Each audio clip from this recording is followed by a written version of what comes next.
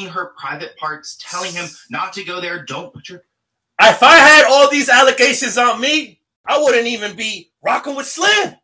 Slim, you think Slim would well, ODM Slim would would would would be doing business with me, and would I be with Mud House Media, ODM ENT? Would Grape Street TV, my big bro Beezy, be rocking with me? Would would would fucking Dream Foreign and Hoodie from the Hood would allow me to interview them? No, they wouldn't, and as they shouldn't, right? So why are you fucking gangsters?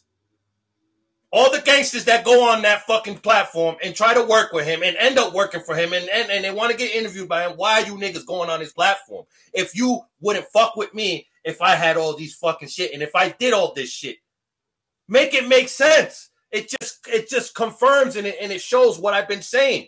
Niggas is willing to stand next to whoever as long as they got a clout and name and they can open doors for you. They're gonna stand next to whoever to get ahead. And that shit ain't sturdy. I don't give a fuck what you did in the streets. That's like if you were fucking all this shit in the street and you end up telling, all that shit goes out the window. You do shit like this, you stand next to unsavory niggas like this, all the honorable shit you ever did in my eyes, in my world, you, all that shit goes out the window. You are a fucking weirdo to me.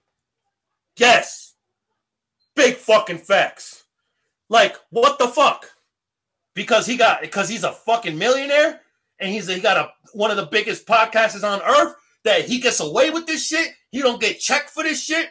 But if I did any of this shit, niggas would straight alienate me, right? As they should. As they fucking should. If I was a weirdo like that, I should get fucking beat the fuck up, all types of shit. Alienated, all that. So if you would do it to me, why you niggas ain't doing it to him? Niggas is so pressed about a bag and, and clout and shit. Man, you talking to a nigga right here that turned down $50,000 cash in front of my face some years back, and I only had $10 in my fucking pocket.